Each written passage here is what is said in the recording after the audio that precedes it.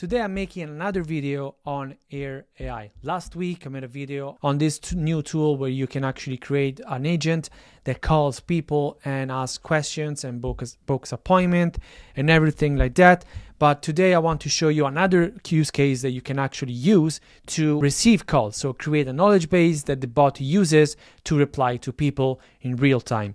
I want to mention two things before we jump into the video. I have a recording today. I will let you listen to the recording that I did with this bot, but I want to mention two things. So stay with me until the end of the video to listen to the recording. But before, let me just mention these two things because I think these are really important. The first one, all, the tools that I'm sharing here if I don't say it, it means I'm not affiliated with any of these companies. So I'm not affiliated with Air whatsoever. If I am affiliated, I will tell you exactly that that is the case and you will find the affiliate links below. In this case, nothing to do with them. The only thing that I do, I find cool tools to use that will help you in your journey with your company and I share with you guys everything that I know and everything that I think could be useful for you. Again, for free. After I used it last week, I had a chance to speak with the company, with Air AI. And for what I've seen, because other people reach out to me, they told me they had the same experience. What happened was they had a call with the team asking them to join the company, become a partner, and do an investment. I didn't do it because I think if a company is good enough, they don't need the customers to do an investment because, of course, the customers are paying for the service. So that's my point of view. So I didn't do any investment. But if you're deciding whether to use this tool or not, just be aware that that might be the case for you as well.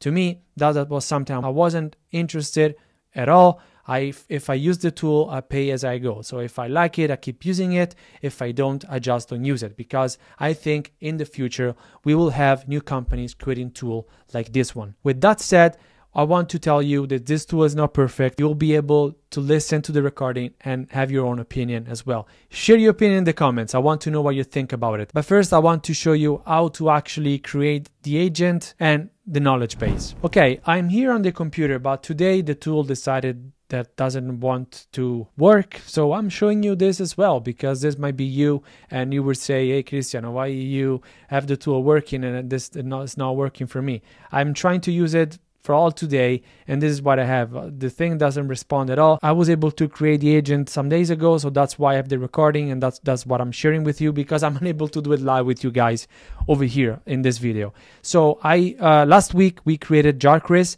This was the sales agent that was able to send appointments link and everything that we wanted to uh, to do with the sales agent. The next video that I will publish for this specific tool will be my experience in doing actually campaigns. So having the bot reach out to real people and see if this bot is actually able to bring in results for the company. So stay tuned for that. If you didn't subscribe, do it so you will be able to see these videos as well. With that said, the creation of this specific inbound calls agent with the type customer service is 95% the same as the previous. So if you want to see how I, how I did it, go watch my previous video because today I'm unable to show it with you because this tool is not working. So for the sake of this video, I already did it and it's super simple to set up. Three, four steps and you have it set up. One thing that you need to do in order for this to work though is having a knowledge base. What is a knowledge base? A knowledge base is something the agent uses to reply to customers. So if a customer asks a specific question and if that question is the knowledge base the bot is able to reply to the specific question if not, you can set up an automated response. What I did was set up a, a, response saying, Hey, I don't have the information for this right now. I will search for it and let you know. So that is what I set up for my specific use case for the test that I was doing. I want to show you how the knowledge base looks like. So we go here knowledge base. This is a test knowledge base that of course I've created. And this is how it looks like. Once you upload the document, you can upload call recordings, you can upload documents, whatever you want, the same exact thing as we did last week. You will have a screen like this one so you can manage your cards are called where you have specific questions. In the recording, you will see that I didn't ask a specific question related to the first card here saying, what is the primary way new customers find the company? I actually asked, how can I join the company? And the, and the agent gave me this response over here. So again, the, this tool is not perfect. They need to work on it in order to make it better. But if you want to add specific cards, you can do it by clicking here on add to knowledge base you click there and you can select to upload documents, recording, as I was saying, or manually add FAQs if you have specific FAQs. Once you do that, the bot, of course, gets all the information, then it's set up and you will be able to use it with phone calls. So now let's listen to this phone call. It will be super funny because the bot wasn't able to reply to any of my questions and actually gave me a wrong response to one of the questions that I had. Hey, Chris. Hello? How can I assist you today? What can you help me with? I can help you with any questions or concerns you may have about air.ai. Um, Do you have the knowledge base? that's an excellent question. I need to search for the information and I will get back to you. Any other questions? Yes.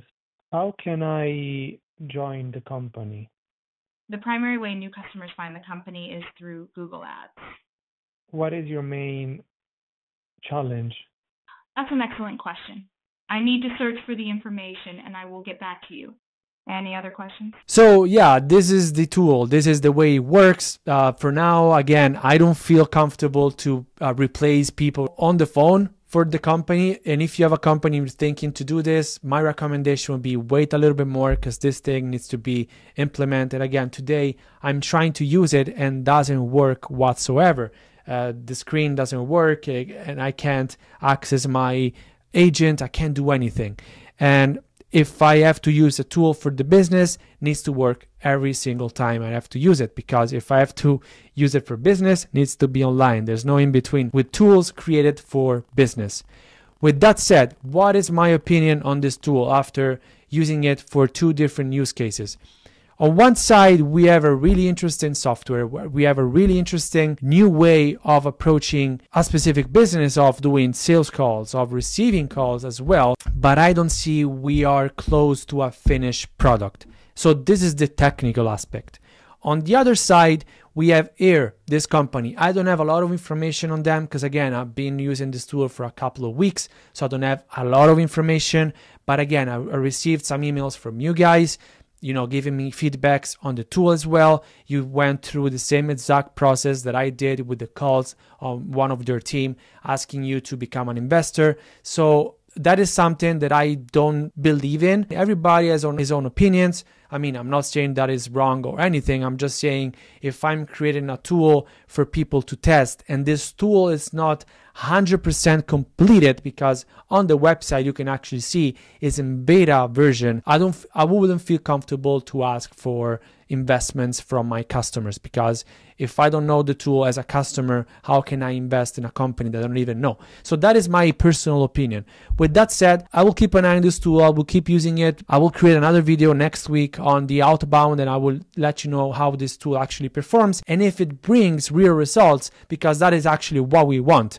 We want a tool to be there to help us and give us results because if that is not the case, we don't have to waste our time and we don't have to waste our money or something that simply doesn't work. With that said, Thank you very much for watching this video. One thing that I want to mention, let me know in the comments if you have other tools that you want me to test, other AI tools that you want me to check out and test and give you um, a feedback because I'm super open to this and I like when you guys comment under my videos. We can have an interaction and build a community and then, you know, create videos maybe that will be helpful for other people that will watch these videos in the future. Thank you for watching this video. Again, if you like this video, give it a like. Don't forget to subscribe so you won't miss my next video the next week. And of course, I'll see you next week with a brand new video.